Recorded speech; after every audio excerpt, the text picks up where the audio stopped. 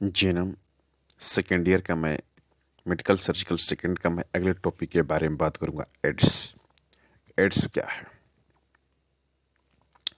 Ads का जो full form होता है acquired immune deficiency syndrome AIDS का जो फुल फॉर्म होता है acquired immune deficiency syndrome AIDS एक ऐसी बीमारी है एड्स एक ऐसी बीमारी है। इसके अंतर्गत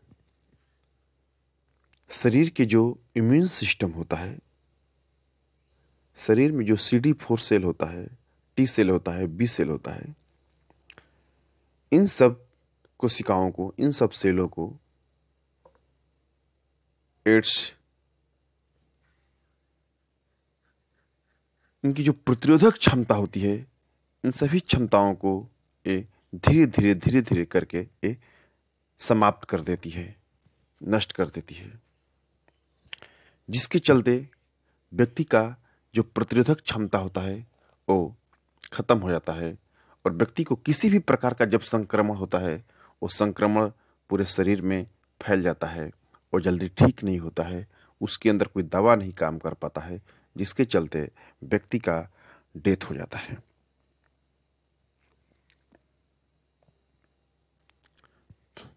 एड्स ऐसी बीमारी है जिसका आज तक न कोई इलाज है, न कोई दवा है, न कोई टीकाकरण है।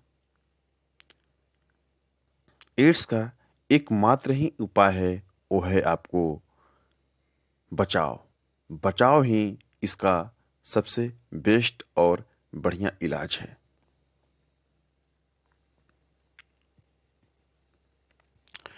एड्स क्यों होता है? इसका क्या कारण हो सकता है?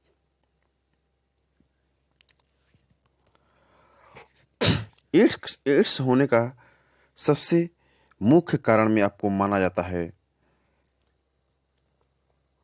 अनसेफ सेक्सुअल इंटरकोर्स मतलब कि आप असुरक्षित यौन संबंध बनाते हैं तो आपको एड्स होने की संभावना बढ़ जाती है। आप असुरक्षित, आप किसी प्रकार के प्रिकॉशन नहीं लेते हैं, आप यौन संबंध बनाते हैं तो आपको एड्स होने की डर रहता है। एक से अधिक लोगों के साथ। आप ज़्यादा से ज़्यादा लोगों के साथ सेक्स संबंध बनाइएगा तो आपको एड्स होने का संभावना और डर रहता है। जैसे आप इंजेक्शन ले रहे हैं, सुई ले रहे हैं तो आज आप लोग देख रहे होंगे कि आज जो सुई चल रहा है, डिस्पोजल सुई चल रहा है। यदि आप सुई लेते समय एक ही इंजेक्शन से दो तीन लोगों को सुई दे देते हैं तो उससे भी आपको ये बीमारी होने का डर रहता है। ये बीमारी एक होता है जेनेटिकली भी, एक जनरेशन से दूसरे जनरेशन में भी जा सकता है। यदि जिसके मम्मी पापा इस बीमारी से ग्रसित है तो बच्चा में भी ये बीमारी जा सकता है।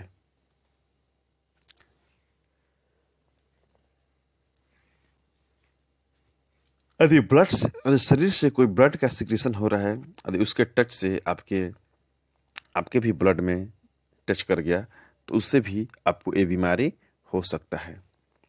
एड्स जैसे कुछ भ्रम है कि लोगों को कि जो व्यक्ति एड्स से ग्रसित है, उसके साथ हाथ मिलाने से, उसके साथ खाना खाने से, उसके साथ बैठने से, उसके साथ बात करने से एड्स आपको नहीं हो सकता है। इस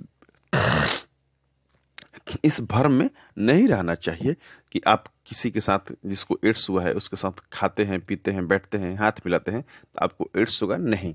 ऐसा नहीं होता है। जब भी एड्स होगा तो ब्लड के कॉन्टैक्ट से होगा सेक्सुअल कॉन्टैक्ट से होगा। कभी भी हाथ मिलाने से आपको एड्स नहीं होता है। जब एड्स होता है तो व्यक्ति में क्या क्या लक्षण आने लगता है? उसको धीरे बुखार आने लगता है। उसको भार में कमी आने लगता है।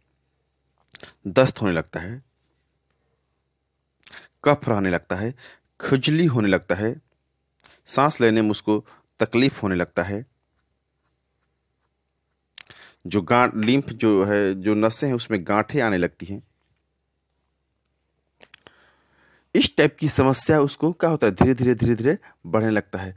यदि उसको कोई बीमारी हो गया तो जल्दी फिर ठीक नहीं होता है, क्योंकि उसकी जो शरीर की जो प्रतिरोधक क्षमता होती है, वो नष्ट हो जाती है धीरे धीरे और कोई भी बीमारी ठीक करने के लिए शरीर में प्रतिरोधक क्षमता होना बहुत ज़रूरी है। और शरीर की यदि प्रतिरोधक क्षमता डाउन होगा तो बच्चा भी क्या होगा? वो व्यक्ति का होगा?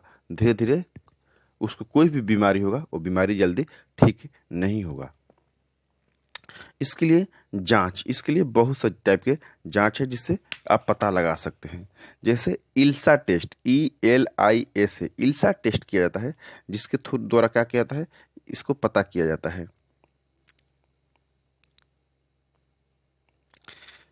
एचआईवी टेस्ट होता है एचआईवी टेस्ट होता है, डॉट ब्लॉट ऐसे भी किया जाता है। वेस्टर्न ब्लॉट टेस्ट किया जाता है। रेडियो इम्यूनो इम्यूनोसप्रेशन टेस्ट किया जाता है।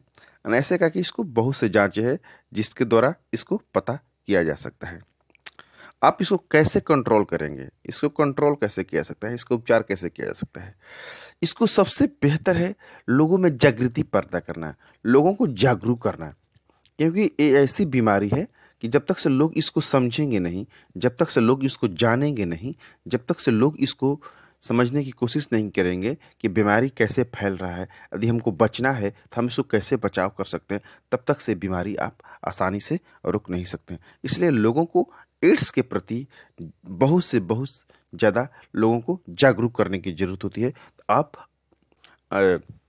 असुरक्षित यौन संबंध न बनाएँ।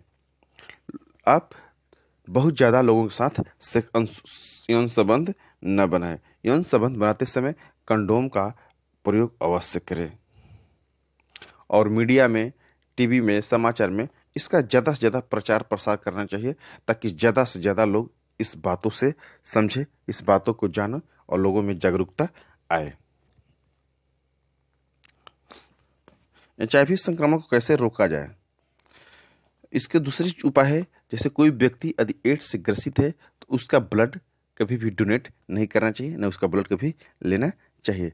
ब्लड ट्रांसफ्यूजन करते समय इस चीज़ को जाँच कर लेना चाहिए। अस्पताल में यदि आप इंजेक्शन यूज़ कर रहे हैं तो एक व्यक्ति को एक ही इंजेक्शन का यूज़ करना चाहिए, जिसे डिस्पोजल का यूज़ करना चाहिए। कभी भी एक व्यक्ति दूसरे व्यक्ति का यूज़ नहीं करना चाहिए।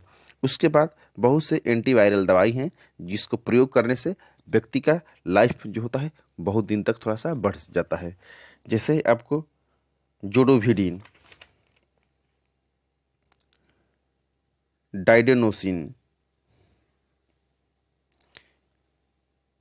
लोवीरेडी एडिनावीर यानी बहुत से ऐसे एंटीवायरल ड्रग्स है जिसका प्रयोग करने से व्यक्ति को क्या होता है? कुछ लाइफ जो होता है, ज़्यादा दिन तक चल जाता है।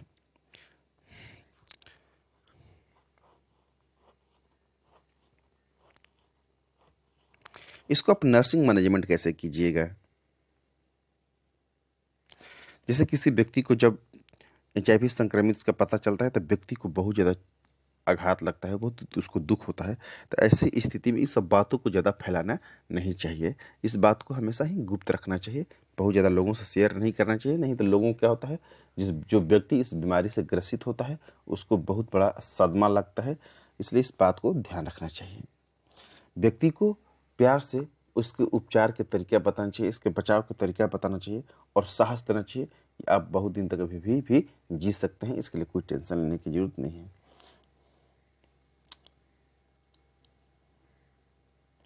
यदि कोई महिला इस बीमारी से ग्रसित हो चुकी है चाहे भी हो चुका है तो उसको कभी भी